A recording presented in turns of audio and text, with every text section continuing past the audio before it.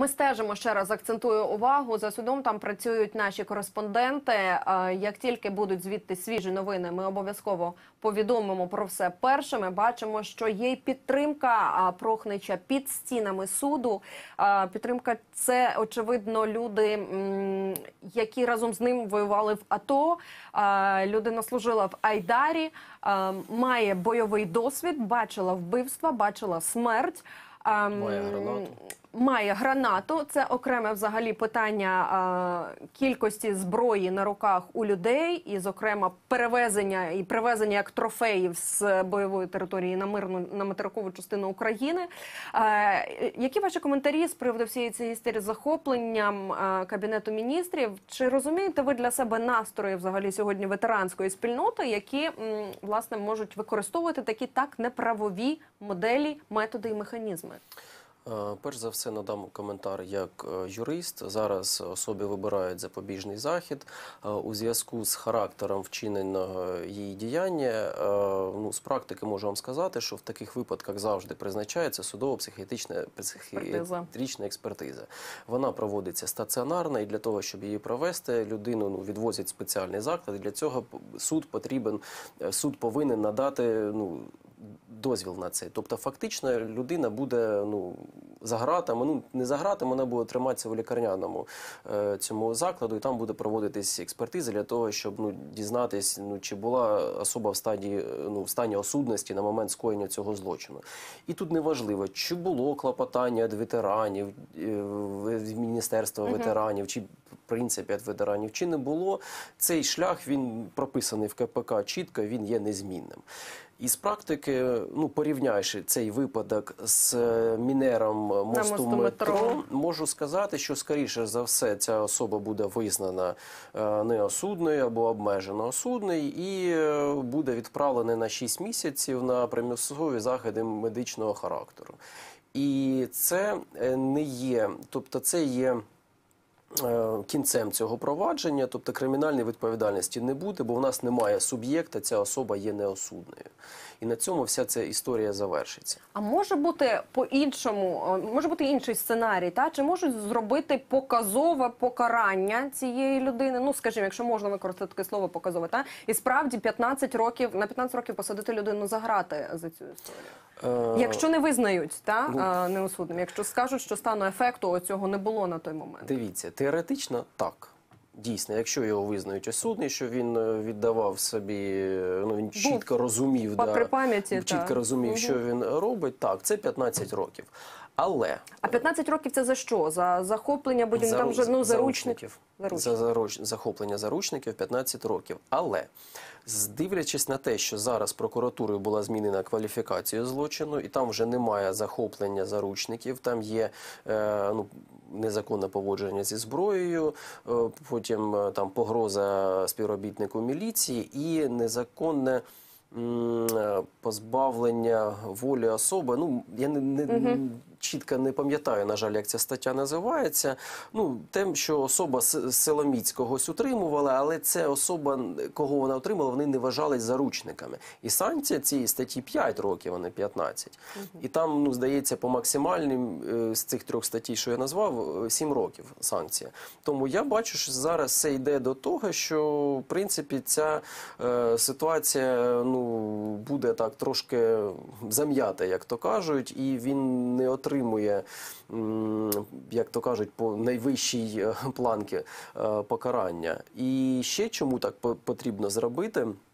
Виходячи з ну, політичного аспекту, якщо в нас людина, ветеран, поважний, обурилася, то якщо ми зробимо показовий процес, це обурить ще велику кількість е, ветеранів. Чекайте, з іншого боку, ми правова держава і. ем, я, я просто зараз намагаюся підібрати слова, да, тому що я розумію всю ту там повагу, честь, яку маємо віддати ветеранам АТО, але все-таки є ще питання безпекове.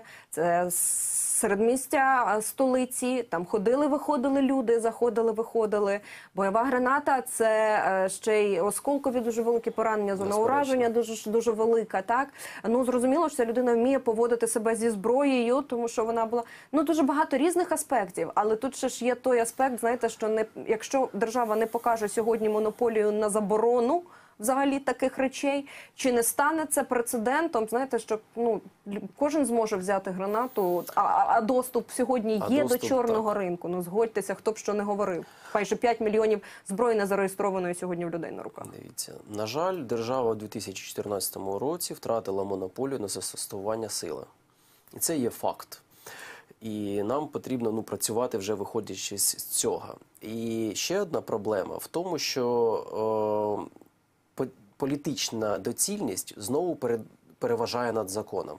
Зараз доцільно цю особу не карати, її не будуть карати. Якщо в нас була позиція е, однозначна, вона б не мінялась впродовж років, наприклад, як у Великої Британії, жодних переговорів, тільки силова операція. Політика визначена, визначена. Якщо ти захоплюєш заручників, ти знаєш на що ти йдеш. Там є чіткий принцип, і всі до нього, е, всі його розуміють, і всі його притримуються. У нас принципи змінюються від кожної влади, від одної влади до іншої. Навіть в рамках однієї каденції однієї влади ці принципи також можуть змінюватись. І саме через це ми й допускаємо те, що такі випадки будуть продовжуватись.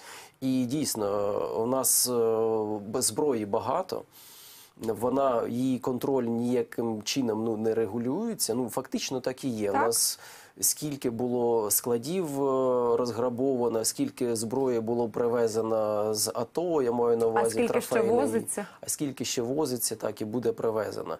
І потрібно працювати вже виходячи з цього. І можливо, як-то потрібно уравняти е, шанси тих людей, які мають зброю е, незаконну з, з іншими людьми. Можливо, потрібно все ж таки, е, ну якщо фактичний обіг зброї вже є, можливо, потрібно його якось унормувати. е, Для, ну, запустити ринок е, ну, легальної зброї, щоб люди могли легально отримати, щоб якщо там злодії кудись лізуть, вони знають, що вони там можуть отримати е, відсіч. Суспільство взагалі готове сьогодні до легалізації зброї? Як ви вважаєте? Чи готове суспільство до того, що кожен, хто зможе собі дозволити, е, там я не знаю, хто придбати ту медичну довідку, якщо вона буде необхідна для володіння Безперечно, вогнепальною зброєю? Та ну, в нашій країні можна це зробити. Можна. А, чи готове сьогодні у нас суспільство безпеково до того, що люди будуть володіти власною зброєю? Тому що насправді люди мають вчитися культурі поводження з зброєю. Е, Я вам скажу так. Так, суспільство, ну, багато хто не готовий, але ми маємо факт наявності зброї вже. І нам потрібно виходити з цього. Е, Тому ну, я вважаю, що це ну, вже є Бодай порядок, але та він має бути. Да, бодай хоч якось це повинно бути унормовано. Є в цій історії ще й моральна сторона, а моральний аспект це те, що накипіло цій людині. Ем, Його друзі, знайомі, люди, які з ним служили, говорять про те, що він е, людина з відчуттям загостреної справедливості. Дуже багато працював з проблемами ветеранів. Ем, Цих проблем дуже багато. Неодноразово намагався отримати якоїсь допомоги від держави, від профільного міністерства, що йому не вдавалося постійно. Проблеми ветеранів ми всі знаємо. Плюс посттравматичний синдром, з яким в Україні, на жаль, майже не працюють після того, як люди повертаються. З війни на мирну територію намагаються якось себе соціалізувати, знайти себе під сонцем. Наскільки держава достатньо робить сьогодні в роботі з ветеранами, які повернулися, тому що у нас, на жаль, збільшується їх число. Безперечно, число збільшується, і воно це вже ну, сотня тисяч осіб. І е, позитивним є те, що нас хоч створили в міністерство в справах ветеранів. Раніше це була служба, а перед цим її взагалі не було. Тобто, ну це дійсно потрібно. Е, Питання в якості цього роботи, роботи цього міністерства, ну погоджуюсь, потрібно все ж таки її під, підвищувати, можливо, додаткові кошти передбачити. Зараз це якраз ну, актуально е, ну, в час підготовки фінальних там вже підготовок державного бюджету е, на наступний рік. Саме от я маю на увазі робота з посттравматичним синдромом, маю на увазі робота психологів. Ну, на мою думку, вона ведеться, але ну недостатньо якісно, недостатньо широко, як це е, повинно бути вестися. Так, ці психологи вони десь є, є якісь лінії довіру, довіри, але серед пересічний ветеран не впевнений, що він знає про це, де він може отримати цю допомогу. І е, ну, такі е, випадки вони, на жаль, будуть е, виникати. Ну, я маю на увазі, який був в Кабміні, і е, прикладом цьому також послугує ситуація, яка була після афганської війни. В радянському Союзі, потім в Україні також були е, люди, які були обурені, і також ну виникали з ними з ними інциденти. Але тоді були ще 90-ті роки, і порівняні з іншими інцидентами, на маю на увазі сплеску преступності. Тобто про це так не досить було широко відомо. Знаєте, ще який аспект обговорюють, і різні політичні табори в Україні піднімають це на прапори. От сам факт того, що це був ветеран АТО.